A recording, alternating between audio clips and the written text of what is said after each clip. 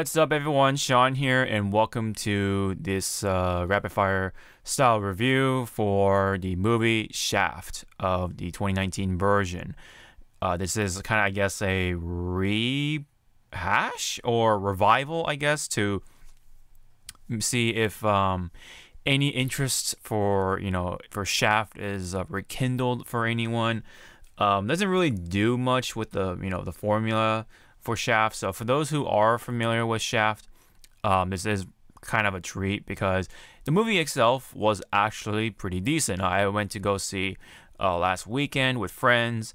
Uh, we watched it in a is in the most like regular format, you know, just um, as standard as you can get with no IMAX, no Dolby Digital or, or Dolby Cinema, anything like that. Even with the red seat, the classic red seats and all.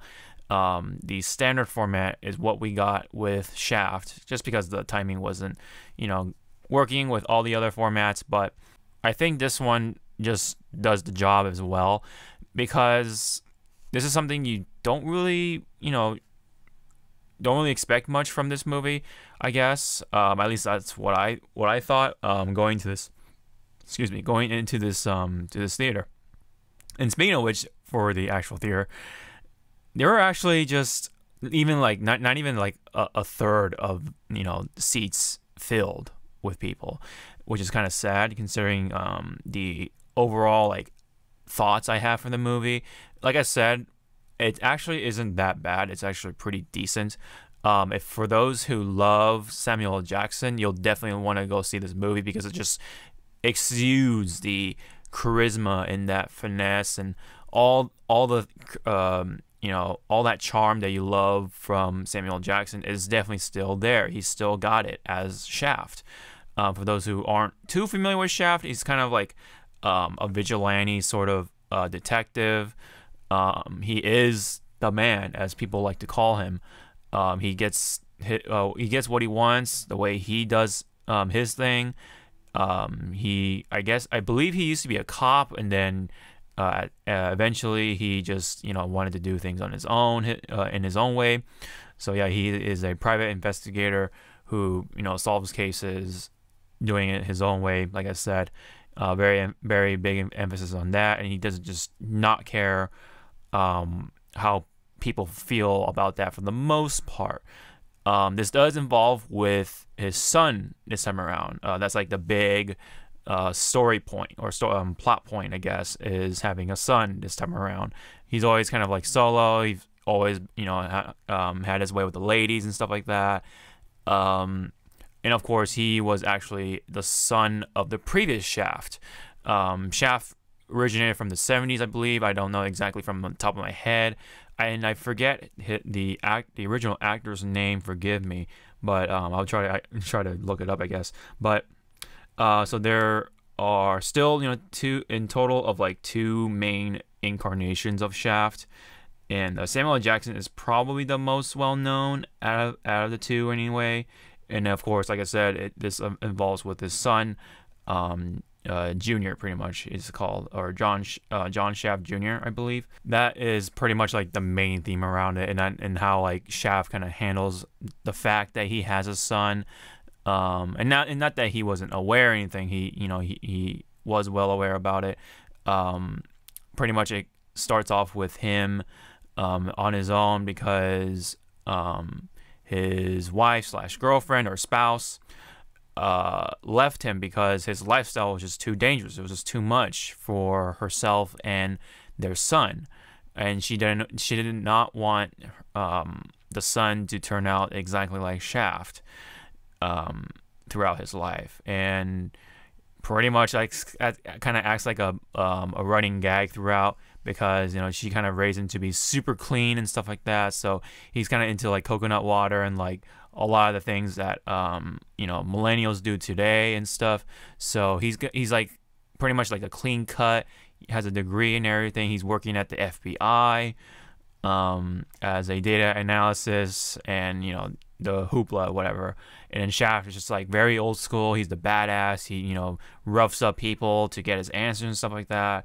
Very old school. And he just um, very straightforward old fashioned that kind of guy. And those two you know those two things gonna clash at times in a very entertaining way.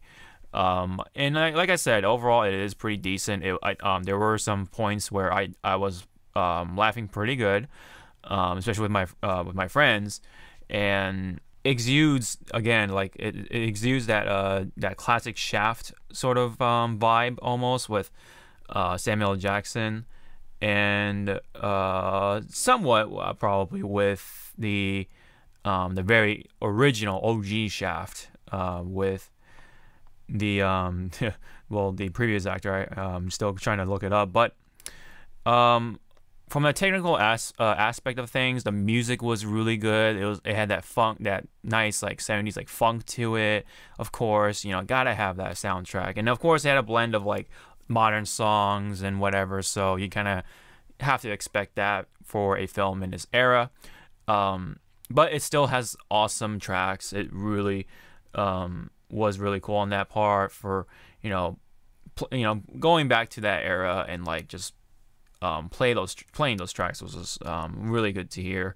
Again, um, it was just really awesome. So the uh, all right, so the uh, I've actually found out the the OG Shaft's name, I believe, and it is Richard Roundtree. Yes, uh, I I definitely recognize his name or uh, his face rather than his name. So yeah, um, forgive me on my uh, my foggy memory on that one, but um, yeah, so he definitely is the um, the OG Shaft, the first black action hero, that sort of um, thing, and um, in the trailer, as you can tell, he makes it. He, he makes an appearance, and um, the OG Shaft is definitely a treat to see because you know, despite the age, he still looks pretty good, and he still like is funny. He still has that like OG Shaft sort of vibe as well, um, from what I can kind of remember in the past. But um, of course, now you know you have like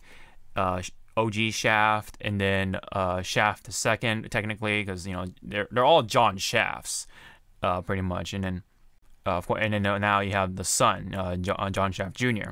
So, so you have triple the Shafts, and so it's you know I guess it, in a way it, by that logic it's triple the fun. And like I said, um, it it, it is fun. It is a fin- uh, fun film if you kind of lower your expectations a bit. There's like not a whole lot going on with the story, so it's not too complicated. Pretty easy to follow. It uh, involves with a drug um, ring, I guess, or drug operation. Don't want to give give away too much, but that's like like that's pretty much like the basics of what's going on with the with uh in that in that story.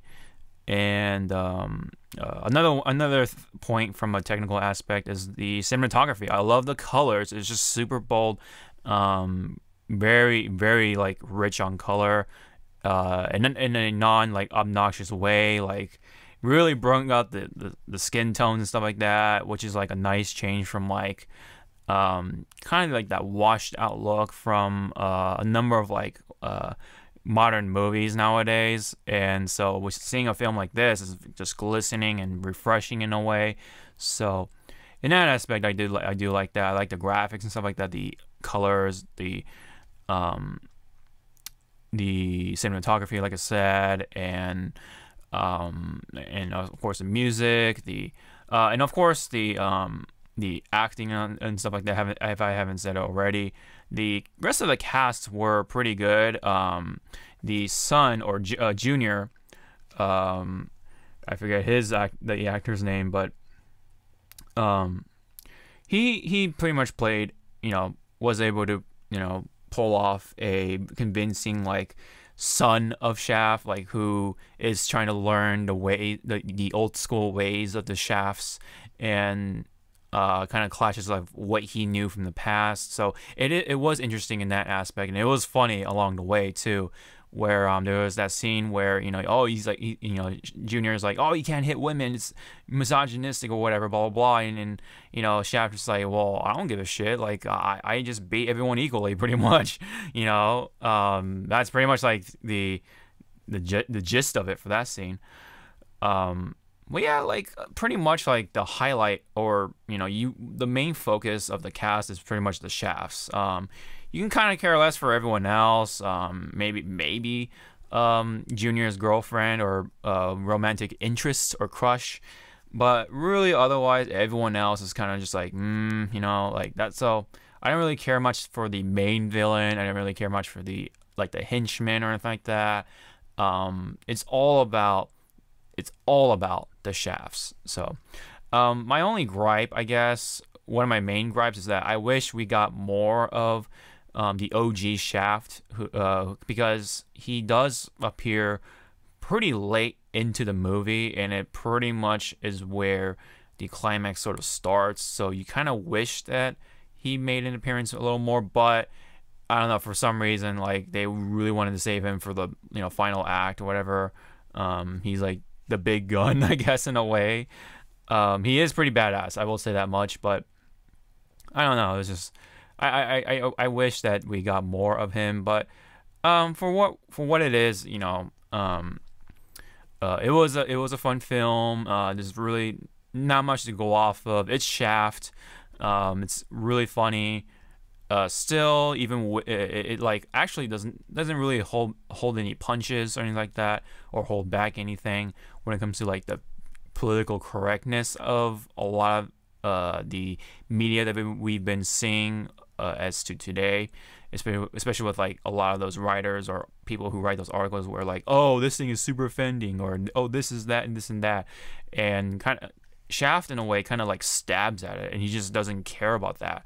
And um, Junior is kind of a reflection of that. He is the pinnacle of what is today, and then Shaft is the pinnacle of what was, you know, um, in the past, essentially. So it is really interesting to see these clash together. And like I said, it's it's a pretty funny process um, throughout the film, and uh, the action scenes uh, were pretty good for the most part.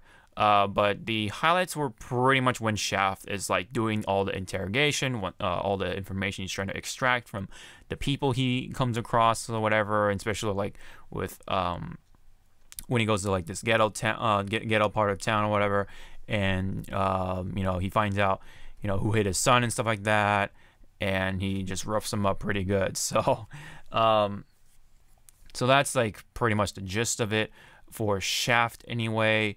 Uh, overall, like I said, it's a pretty decent film. Uh, a lot better than what I've expected. I kind of, kind of expect, kind of had that thought and expectations of like, oh, it's gonna be kind of okay or average or even below average, but it actually sort of exceeded in a way. Um, it was just really funny, very charming, very charismatic. Um, Samuel Samuel L. Jackson still got it. Um, it's really nice to see uh, Roundtree make it back in there too, and interesting to see what is it like for Shaft to have a son um, Jesse Usher is the actor's name. So um, again, he, he um, for the roles that they've been given, they did a pretty good job. So yeah, um, they did their their job, and that's pretty much you know all I can say without spoiling things. But um, there's not really much to spoil. Uh, this just one of it's one of those films that you don't really have to like talk about the story too much, other than oh, it's Shaft and it's you know really, really uh, pretty badass. So yeah. So, with all that said, um, I can probably safely and confidently um, say that Shaft, for the 2019 version anyway, gets a strong 7 out of 10 from me. Um, it is re- recommended, um, I would say, because again, for those who really like Samuel Jackson, he still got it. He is still himself. He still got that. He has. He still has that funny voice. He has the delivery. The dialogue is really good too. Um, like I said, the story isn't hard to follow, so you'll won't you won't have a hard time like trying to think about the story, so you won't get yourself lost or anything like that. Um, it's just a good, fun all around popcorn flick. Um, it's a good watch on Netflix, uh, definitely. Um, but if you can, you know, try to catch it in theaters just to, you know, give it your support or anything like that. Um, so, yeah, so that's pretty much uh, my thoughts on Shaft uh, 2019. Uh, like I said, it's, you know, uh, more uh, pretty decent film, fun, um, a fun, what is it, under two hours and stuff like that. So it's not too long. The pacing wasn't too slow or anything like that. So, um, anyways, if you, have, if you guys uh, watched the film, uh, if you guys have any like Shaft related comments, please leave them down below. Love to check them out. And thank you for um, you know uh, tuning in for this video. Uh, if you like if you guys liked it, uh, hit the thumbs up and uh, hit the subscribe button if you haven't already. Uh, that supports the channel. Really appreciate it, guys. And of, of course, you can check me out on social media stuff, Twitter, Twitch, and all the other stuff is in the description below. I do have sponsorships like Loot Crate and into the AM. That's another way to support the channel while you guys get something out of it, like a discount, for example. All that information is in the description below. So, thank you guys so much for my rapid fire style review on Shaft 2019. I'll see you guys next time. Sean out.